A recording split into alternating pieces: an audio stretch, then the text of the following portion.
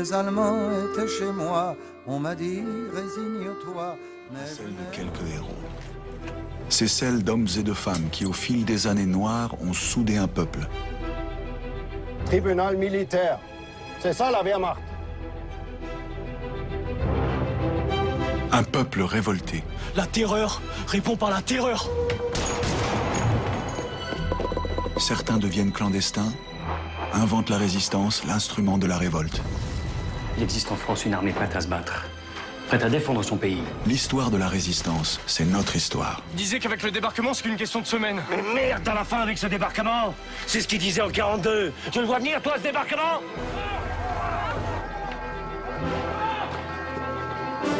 C'est fini, ça commence. Grâce à des archives inédites, aux travaux des historiens, voici ce récit. Toutes les scènes tournées dans ce film sont authentiques. Vive la France Das französische Volk ist noch nicht unter Kontrolle.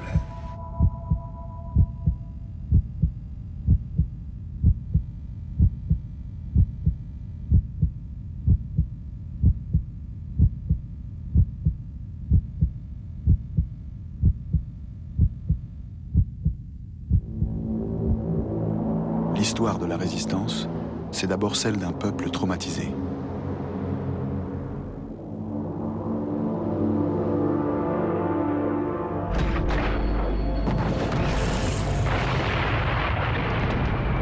Le 10 mai 1940, Hitler attaque l'Europe de l'Ouest. Annoncé par les bombardements des Stuka, les troupes nazies marchent sur la France. Les états-majors se préparaient à une guerre longue. Elle durera 37 jours. En France, 100 000 morts.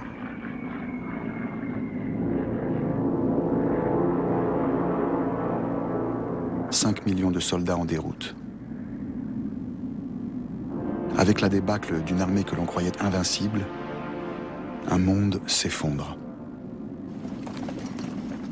L'exode jette 10 millions de civils sur les routes. La nuit tombe sur une France anéantie. Le 14 juin 1940, les Allemands font leur entrée dans la capitale. Les Parisiens, avec horreur, découvrent l'occupant. Les visages sont fermés, inquiets.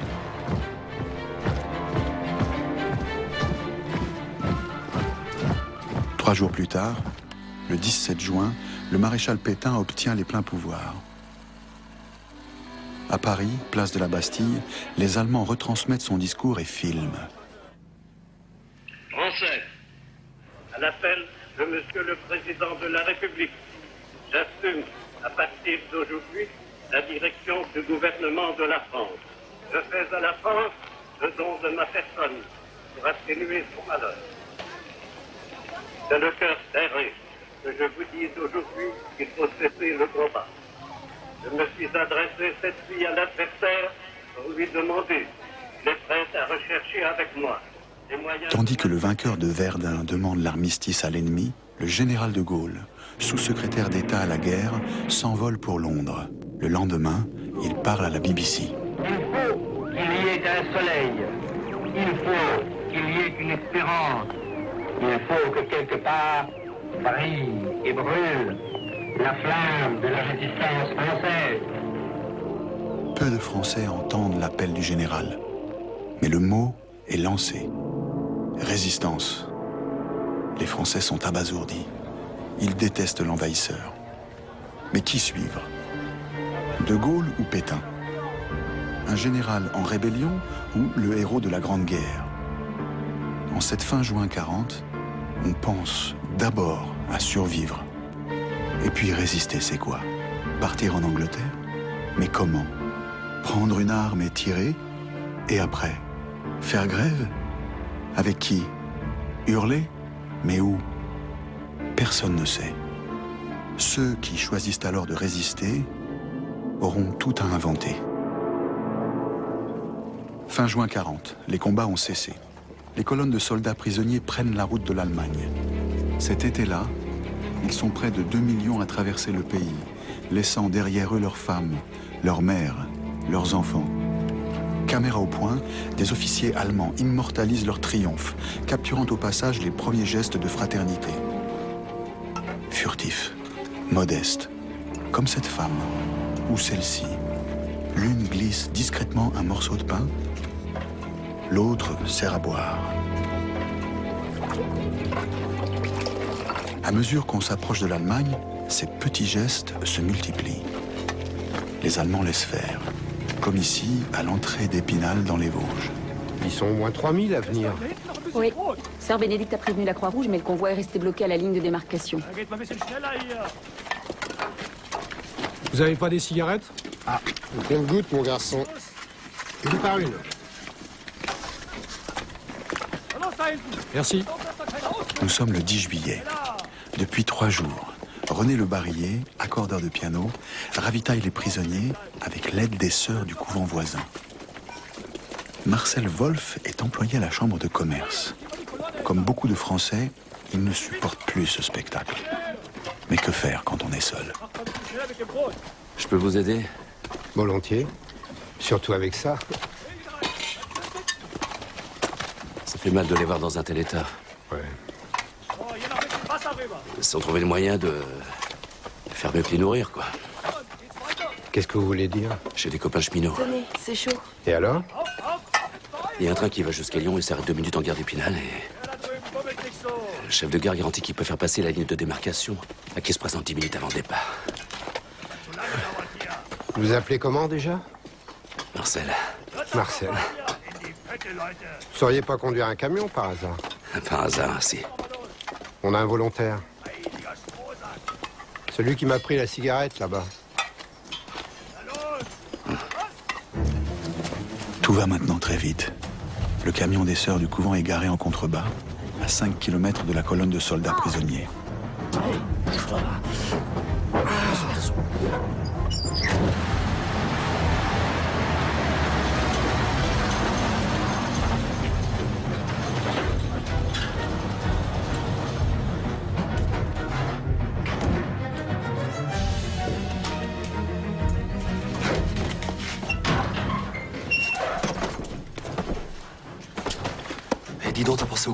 Si les frites faisaient des représailles Tu veux retourner dans la colonne, peut-être Hein? Allez, dégage. Allez, allez, vite, vite, vite. Vous allez vous changer.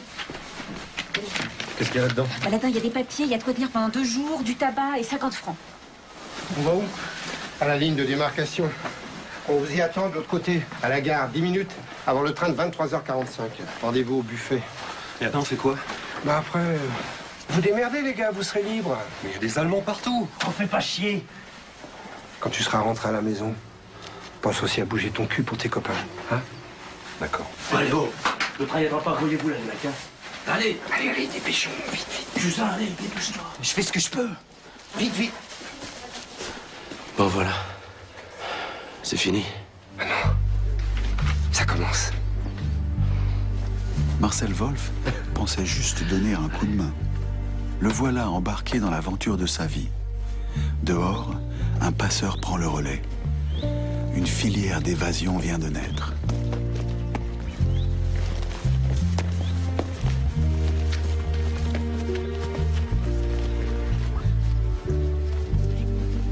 Il nous amène où, là? Chut, j'ai dit, aucun bruit.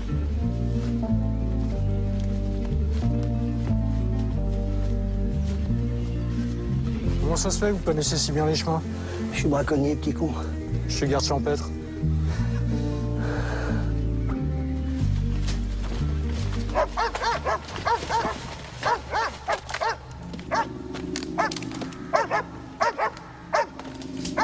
Ces hommes savent-ils qu'ils sont en train d'inventer la résistance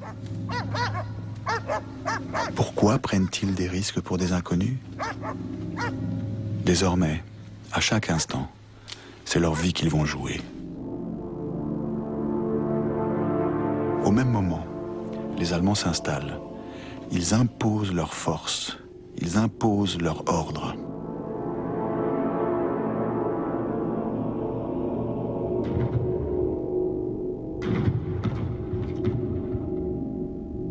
Ils se comportent comme toutes les armées d'occupation. Ils pillent. ces scènes, tournées par des soldats allemands à l'été 40, se répètent un peu partout dans la France occupée. Scène d'humiliation. On subit en silence, impuissant.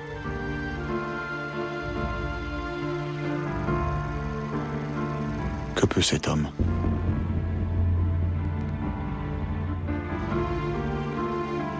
Que peut cette femme?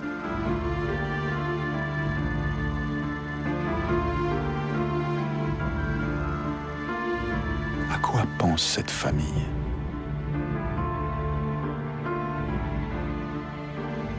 Que faire quand l'ennemi occupe le jardin?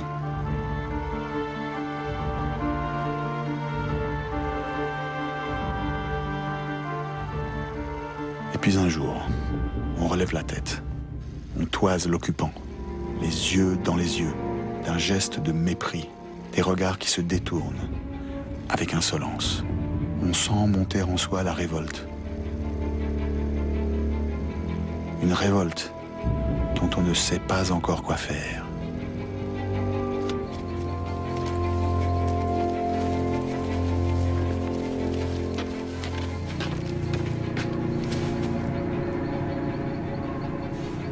Enlevez vos chaussures. Quoi? Enlevez vos chaussures et faites pas chier, c'est pas une balade. Hein? Eh, on n'a pas une grande habitude des évasions, nous. Et puis ça va être la dernière si la marée chaussée continue comme ça.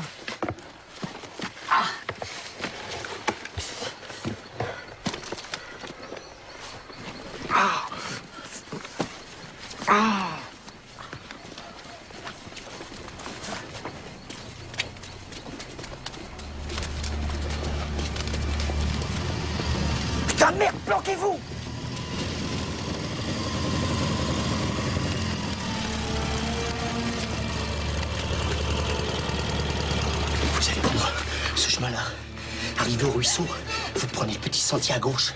C'est la ligne de démarcation. La gare est à 2 kilomètres. Et vous T'occupes. Oh Oh, oh, oh, ça va, ça va, ça va. Pas besoin d'en faire trop. Si on peut plus rentrer chez soi, ben merde, hein. Comment c'est, mit mir schnell Doucement, doucement. Ça va bien à la fin.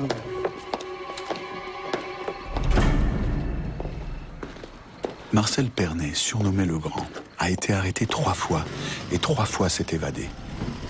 Affreusement torturé, il n'a jamais parlé. Il a été abattu par surprise le 8 mai 1944, un mois avant le débarquement des Alliés. On estime qu'à lui tout seul, il a fait passer plus de 1000 personnes en zone libre. La France est alors découpée en quatre zones quasiment infranchissables. Aller au sud, la seule zone non occupée, c'est échapper aux nazis. En quelques mois, des dizaines de filières s'improvisent. On fait confiance à quelqu'un qui conduit des fuyards. On les amène plus loin, chez un ami qui les prend en charge. Grâce à des hommes comme Marcel Pernet, ce sont en tout 80 000 soldats qui retrouvent la liberté à l'automne 40. Par milliers, ces passeurs anonymes ont fait le choix de la désobéissance.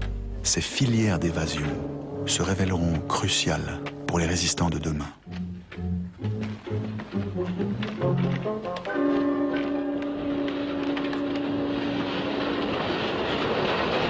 Au même moment, le gouvernement du maréchal Pétain négocie secrètement les conditions de l'armistice avec l'occupant.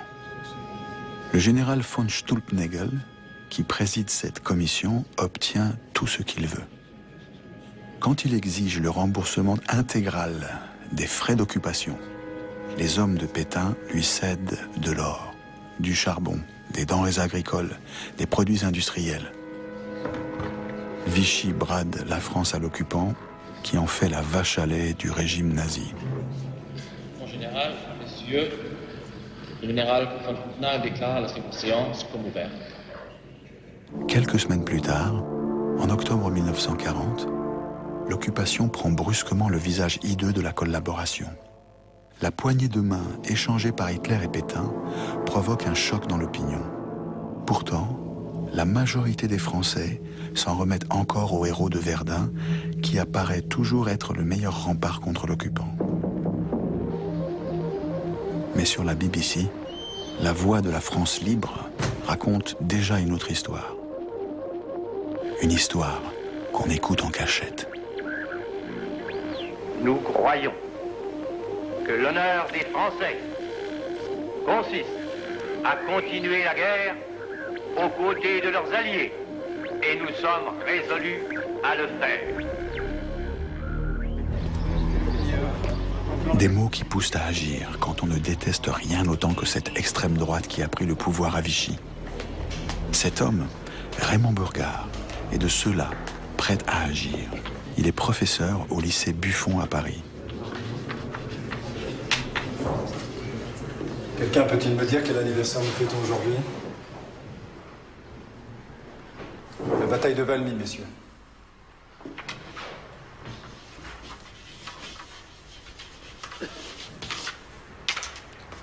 De quoi s'agit-il? Monsieur Legros. 1792, monsieur. Les troupes françaises de la Révolution battent la coalition des monarchies européennes. Très bien.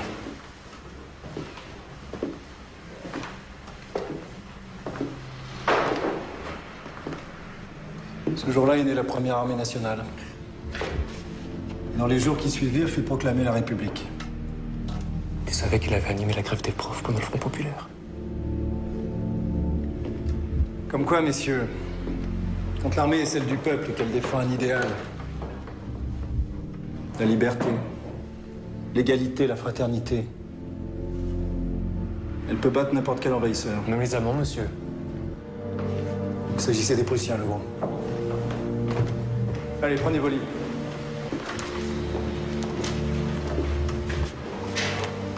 Aujourd'hui, Voltaire. Un peu de lumière nous fera du bien.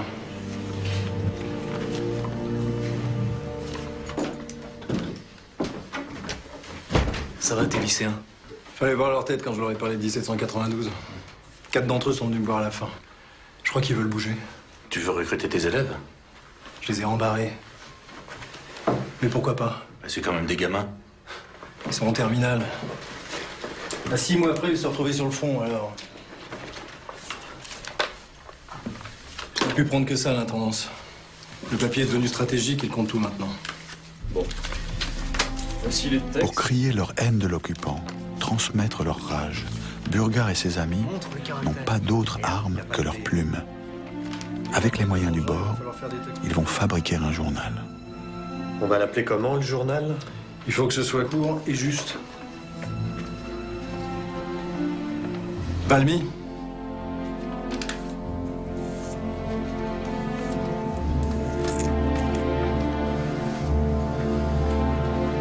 Fais voir le tampon d'encre.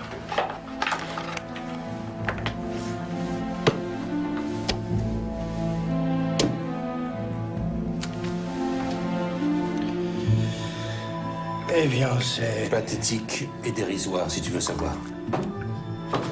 Dérisoire. Mais t'as rien compris, mon vieux. La propagande, ça commence toujours par une goutte d'eau. Une goutte d'eau. T'as pas remarqué qu'on n'était que cinq Mais qu'est-ce que tu crois, Velay? Que tous ceux qui ont manifesté l'an dernier contre le fascisme ont disparu? J'ai pas dit ça. T'as pas dit ça, mais tout le monde le croit. Et si personne n'essaie de dire qu'on existe encore, alors là oui, là on est dans le pathétique. Et après? On recrute. Et après? On bouge. T'es pas obligé de le faire, tu sais.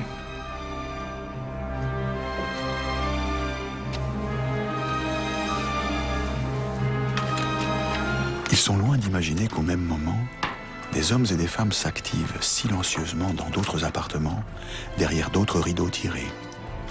Rien qu'à Paris, une dizaine de journaux sont en train de voir le jour. Armés d'une paire de ciseaux, d'un pot de colle, de crayons de couleur, d'une pomme de terre en guise de pochoir, ils recopient, coupent, collent, plient, tamponnent, relient. En 1940, la résistance a le visage de ses besogneux. Ils inventent, sans le savoir, la formidable épopée des mouvements de résistance. Maintenant, il faut les diffuser. Alors imaginez qu'on trouve 10 amis. Si chacun de nos amis... 15 000. Chacun de nos amis reproduit 10 exemplaires et les distribue à ses propres amis. Eux, ils font pareil. À la troisième génération, nous aurons 15 000 lecteurs. 15 000 Merde. Et ça, ce n'est plus une goutte d'eau. C'est une vague.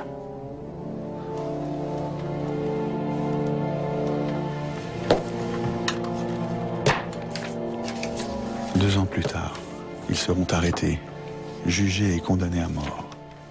Raymond Burgard sera décapité à Cologne le 15 juin 1944.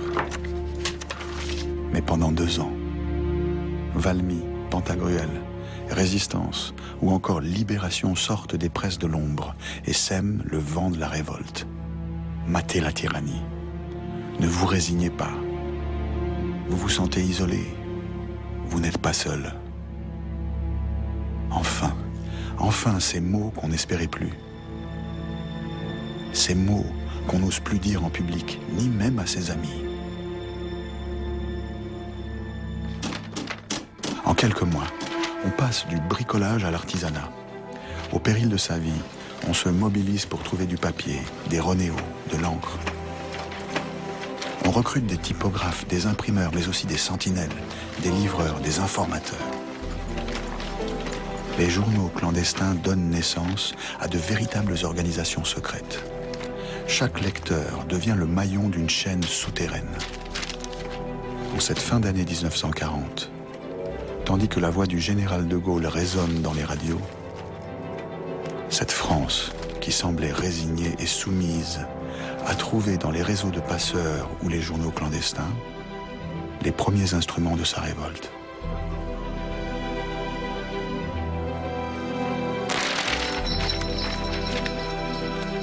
La résistance n'est peut-être pas en ordre de marche, mais le pays gronde déjà. Six mois après le début de l'occupation, les nazis réagissent.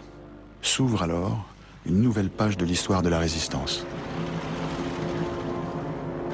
Helmut Knoeren est lieutenant-colonel dans la SS, chef de la Gestapo à Paris. Il est le premier à prendre au sérieux le mouvement de contestation qui s'empare du pays. Wissen Sie, wer das macht? Nein. Wie viel habt ihr davon gefunden? 200. Hm.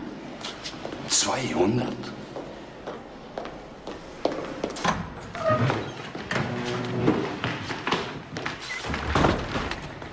Göppel, beunruhigt Sie das, wenn Sie das sehen? Nein, Herr Standartenführer. Warum? Sporadische Überreste. Ein protokommunistisches Aufflackern von Studenten aus dem Quartier Latin. Sie sind unter Kontrolle. Die Franzosen sind vernichtet, meinen Sie das? Genau, Herr Standartenführer. Göckel, Sie denken wie diese Schwachköpfe der Wehrmacht. Sie irren sich. Die Franzosen hassen uns, weil wir ihr Land besetzen.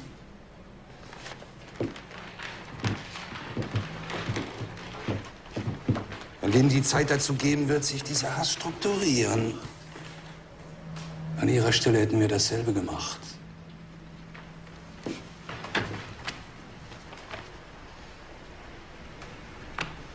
Sie werden mir diejenigen finden, die diese Zeitung gemacht haben, und Sie werden sie zum Reden bringen. Jawohl, Herr Standartenführer. Schicken Sie eine Zusammenfassung dieses Berichts ans Hauptquartier, damit Berlin weiß, im Gegensatz zu dem, was Sturmscharführer Göckel glaubt, das französische Volk ist noch nicht unter Kontrolle. Jawohl, Herr Standartenführer. Le rapport qu'envoie Helmut Knoren à Berlin fait pour la première fois mention de l'existence du gaullisme. Il est daté du 12 décembre 1940. À Paris, Rouen, Bordeaux, les activités de propagande de l'ennemi s'intensifient. Tous les Français qui sont des opposants deviennent des sympathisants de De Gaulle. On observe sur les tracts le drapeau anglais et le drapeau français ornés de la croix de Lorraine. De nouvelles complications apparaissent quotidiennement. Le SS Knoren voit juste. En effet, encouragé par la BBC et la presse clandestine, la population défie l'occupant quotidiennement. De Gaulle a donné la consigne de recouvrir les villes du V de la victoire, le slogan de l'armée anglaise. Graffiti, pliages ingénieux, les provocations se multiplient. Le 11 novembre, on célèbre la victoire de la France sur l'Allemagne en 1918. Pour l'occasion, les boutonnières sont fleuries aux couleurs de la République. Les appels à manifester se multiplient, comme ici à Lyon, ils sont plusieurs milliers.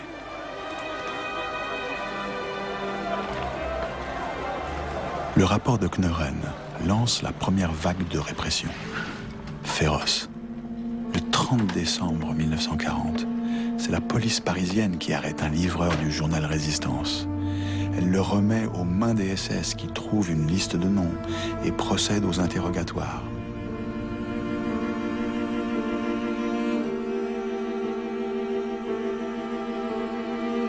Les premiers résistants à être livrés au bourreau. Dans les archives de la Gestapo, on retrouvera ces photos.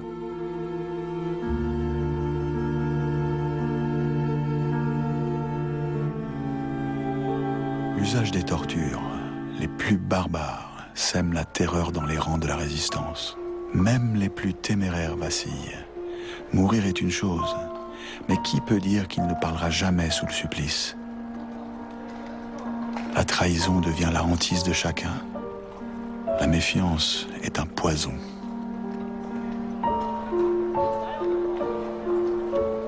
Une seule priorité, sécuriser les réseaux.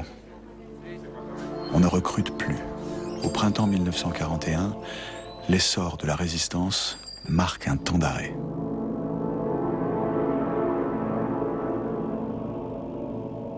Vichy y est pour beaucoup. Pétain a transformé l'appareil d'État français en instrument de la collaboration. Pas de liberté de circulation, couvre-feu dès la tombée de la nuit, surveillance des communications, des lettres, des conversations, police secrète, police politique, police militaire. Décret antisémite, exclusion et spoliation des juifs.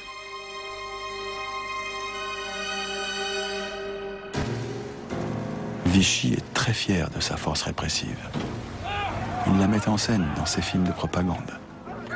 Il interne les communistes, les syndicalistes, les juifs étrangers, les parlementaires républicains. Il condamne à mort par contumace De Gaulle, arrête ses partisans.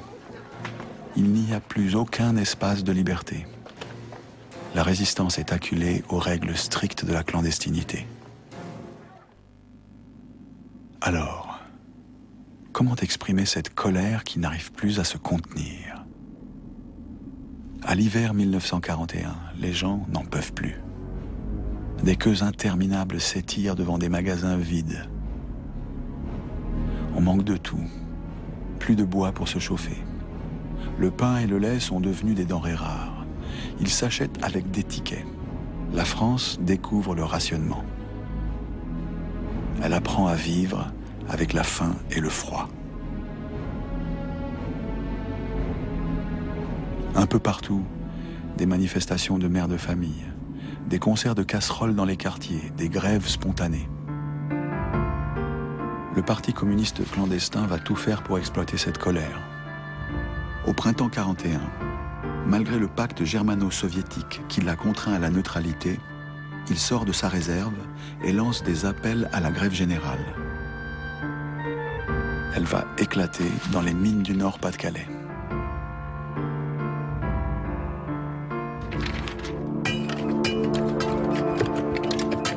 Ici, plus de savon, alimentaires dérisoires, des salaires de misère. Depuis l'occupation, les mineurs sont retombés au temps de Germinal. Le 27 mai, les communistes du Pas-de-Calais appellent à la grève. Ils sont rejoints par les socialistes, les chrétiens de gauche comme de droite. En quatre jours, tous les puits s'arrêtent. Pour éviter les arrestations, 100 000 mineurs restent chez eux pendant deux semaines. La première grève patriotique de l'histoire de France.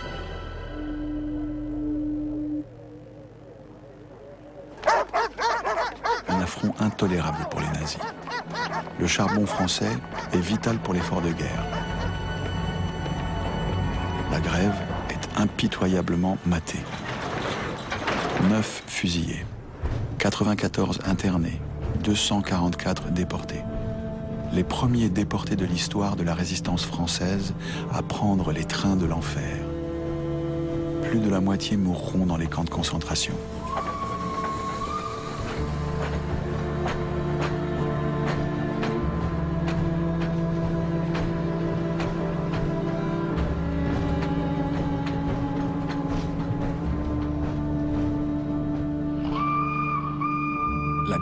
Pas une arme efficace face à la violence d'une armée d'occupation. Alors, peu à peu, résister va prendre d'autres formes. Le sabotage est plus discret.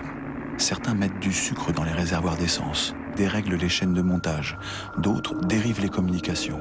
Dans les usines, les bureaux, partout. Chacun fait ce qu'il peut, là où il est. Mathieu est de cela. Il n'appartient à aucun réseau, ne transporte ni documents secrets, ni armes sous sa chemise. Allô? Allô? Mathieu est apprenti électricien. Il n'a pas 16 ans. Et comme beaucoup de jeunes Français, il déteste l'occupant.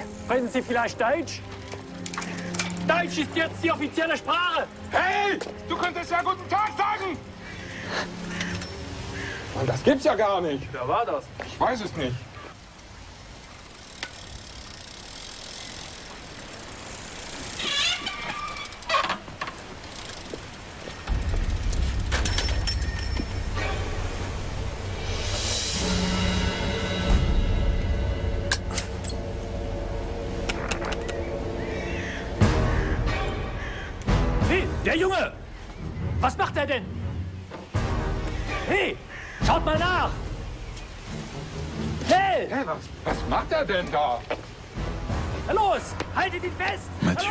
Pas un héros de la résistance. Son comportement peut sembler puéril. Il n'aura pas de médaille, ni de titre de gloire. Il fait partie de cette société qui devient au fil des mois, grâce à des attitudes, des petits gestes, une société de rébellion. Les Allemands le sentent bien.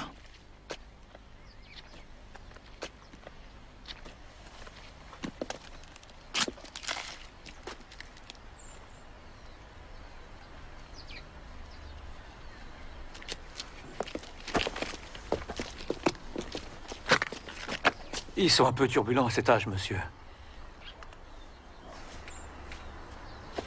Oui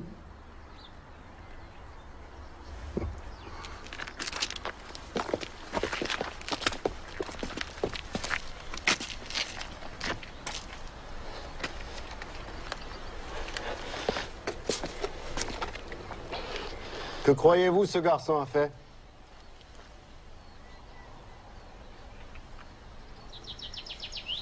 Il a saboté. Écoutez, monsieur l'officier, vous savez, ils n'ont Halten que Sie 16 ans. Mund. Ils n'ont que 16 ans.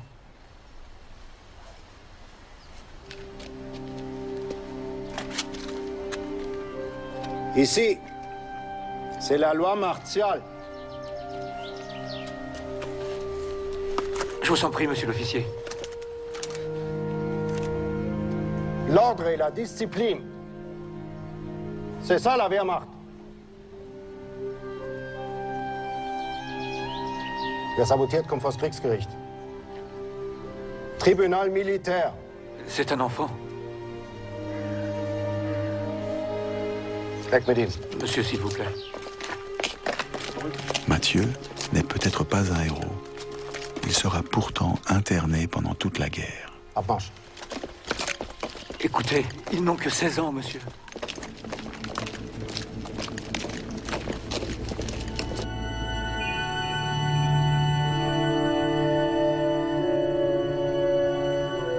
Dans toute la France, les nazis pourchassent et répriment sans pitié les saboteurs.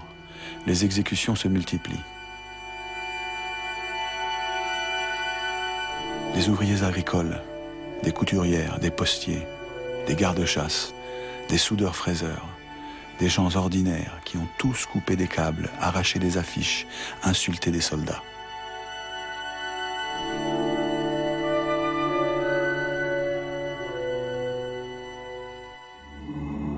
Cette société de rébellion, le maréchal Pétain la découvre au printemps 1941. Les rapports des préfets, des renseignements généraux et des services de contrôle du courrier sont unanimes. Des réunions secrètes seraient tenues. Appel à la révolte. La propagande gaulliste ne ralentit pas. L'opinion paraît inquiète. La politique du gouvernement reste très controversée. Un vent mauvais souffle sur Vichy. Le 20 août 1941, Pétain s'adresse solennellement au pays. Français, j'ai des choses graves à vous dire. De plusieurs régions de France, je sens se lever depuis quelques semaines un vent mauvais. L'inquiétude gagne les esprits. Le doute s'empare des âmes. L'autorité de mon gouvernement est discutée. Un véritable malaise atteint le peuple français. La radio de Londres et certains journaux français ajoutent à ce désarroi des esprits. De ce désordre des idées naît le désordre des choses. Un long délai sera nécessaire pour vaincre la résistance de tous ces adversaires de l'ordre nouveau. Mais il nous faut, dès à présent, briser leurs entreprises en décimant les chefs. Pétain garde encore une certaine popularité, même si son régime est de plus en plus haï. Beaucoup sont persuadés que le vieux maréchal joue un double jeu. Les rumeurs les plus extravagantes circulent à ce sujet. Pétain serait le parrain du fils du général de Gaulle, et les deux hommes prépareraient ensemble la reconquête du pays. C'est tout le paradoxe de l'époque. En 1941, un an après l'armistice, on peut être maréchaliste sans être collabo. On peut même être maréchaliste et résistant. C'est le cas d'Henri Freinet. Le fondateur d'un des plus grands mouvements de résistance est là où on ne l'attend pas, à Vichy. Résistant de la première heure, vivant dans la clandestinité, Freinet est aussi un maréchaliste convaincu. Il veut faire dans l'ombre ce que, pense-t-il, le maréchal ne peut officiellement entreprendre. Créer une armée secrète. Il s'appuie sur les réseaux de son journal clandestin qui s'appellera bientôt Combat. C'est dans cette confusion des repères qu'apparaît l'homme clé de la résistance, Jean Moulin. Depuis huit mois, il sillonne clandestinement la France pour recenser ce qui résiste dans le pays. Jeune préfère évoqué par Vichy, Jean Moulin sait qu'il y a dans le pays des hommes prêts à se battre, mais ils sont désorganisés, mal équipés. Il en a rencontré des chefs, d'anciens officiers, mais aussi des syndicalistes, des patriotes. Aucune stratégie, pas de vision cohérente. En juin 1941, il rencontre Henri Freinet à Marseille.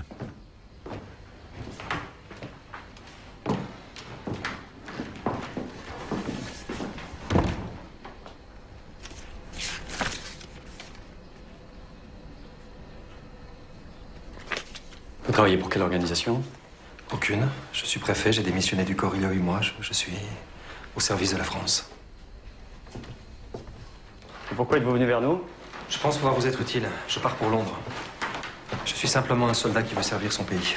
Si vous pensez que je peux être utile, utilisez-moi. J'aimerais revenir en France et aider tout le monde pour une véritable action. Vous n'êtes pas le premier à me dire ça. Dites-moi ce que vous attendez de Londres. Les Anglais doivent savoir qu'il existe en France une armée prête à se battre, prête à défendre son pays, prête à le libérer. La rencontre est décisive. Avec son journal Combat, Freinet est à la tête d'une organisation crédible, prête à se mettre en mouvement. Pour Moulin, tout s'éclaire. Les journaux clandestins ont créé des mouvements. C'est autour d'eux qu'il faut réunir les résistants. Leur potentiel est énorme. Il faut que Londres le sache. Moulin détaille les forces en présence dans un rapport qu'il emporte en Angleterre. Auprès de la France libre, il espère trouver ce qui manque au mouvement de résistance. De l'argent, des armes, un chef et une stratégie.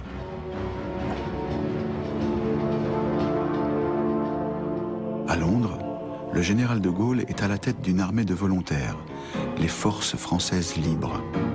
En cet été 1941, ils sont 35 000 hommes qui ont traversé la Manche pour rejoindre ses rangs.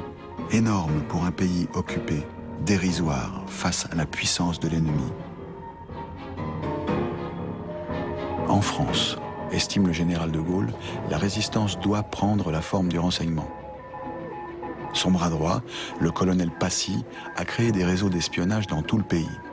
Ils sont des milliers qui paient de leur vie les renseignements stratégiques qu'ils fournissent à l'Angleterre. En 1944, ils seront 150 000.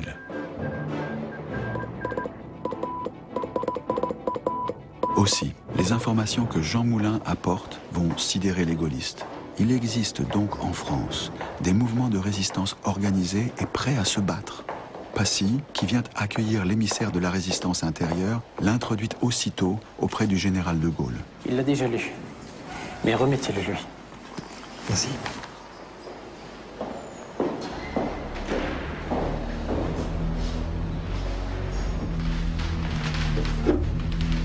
Vous êtes donc euh, ce jeune préfet de Chartres. Je l'étais, mon général. Aujourd'hui, je suis mandaté par les mouvements de résistance pour vous parler. Qu'attendent-ils pour m'envoyer des hommes Que vous soyez leur chef. Je le suis, depuis le premier jour. Vous êtes le chef de la France libre. Eux organisent les Français occupés. S'ils se battent en France, c'est que la guerre continue en France. La guerre se gagnera ici, aux côtés des Alliés. Mon général, ces mouvements représentent des centaines de milliers de combattants, prêts à agir. Allons bon. Qu'imaginez-vous qu'ils puissent faire? Ils forment l'armée que vous cherchez. Ils cherchent un chef qui les guidera. C'est vous. Vous pensez qu'ils m'attendent, moi Alors qu'ils adulent Pétain La résistance intérieure est la force qui va soulever le pays, à condition qu'elle soit unie. Seul un chef extérieur aux ambitions sur place peut le faire. Les Français ne sont pas assez disciplinés. Les Français ont un rêve, retrouver leur liberté. Ils sont prêts à tous les sacrifices pour ça. À vous de les guider.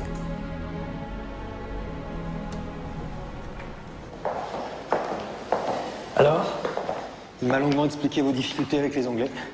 Je crois avoir convaincu qu'une résistance unie peut lui apporter une légitimité populaire. Encore faut-il que cette résistance ait l'efficacité opérationnelle que vous imaginez. Il faut absolument convaincre les Alliés de les armer. Il pense qu'il vaut mieux vaincre les Allemands sans les Français. En tout cas, si nous ne réussissons pas, ce sont les communistes qui vont diriger et incarner la résistance. On en est vraiment là. Le pont que vient de jeter Jean Moulin entre Londres et la résistance intérieure sera-t-il assez solide face aux nouveaux défis de la guerre?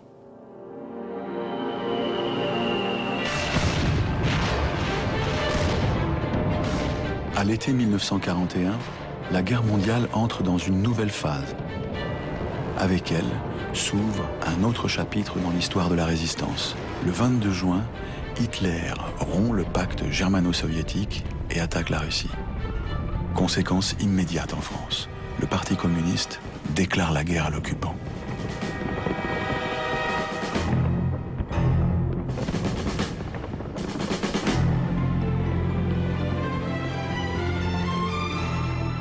Il apporte à la résistance un souffle nouveau, son expérience de la clandestinité, celle des brigades internationales de la guerre d'Espagne, des immigrés antifascistes et des jeunes communistes assoiffés d'action.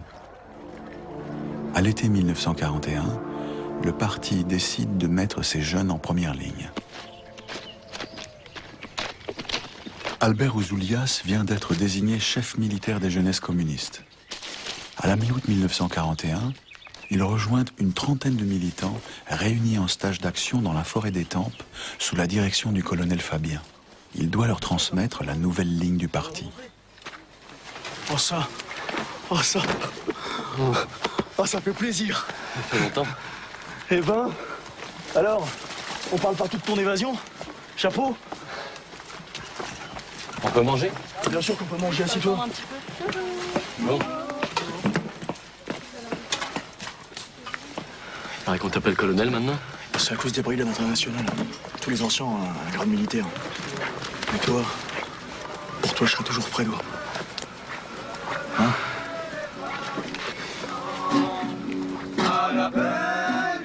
Pas 20 ans. Ce sont des militants convaincus, prêts à tout sacrifier. L'action, ils en rêvent depuis longtemps. Et j'ai repris mon âme.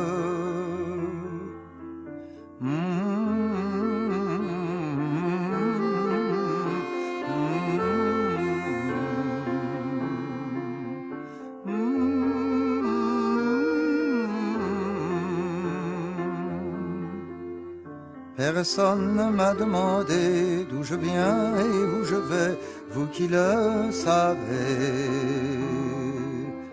Effacez mon passage. J'ai changé sans frais de nom, j'ai perdu femme et enfant, mais j'ai tant.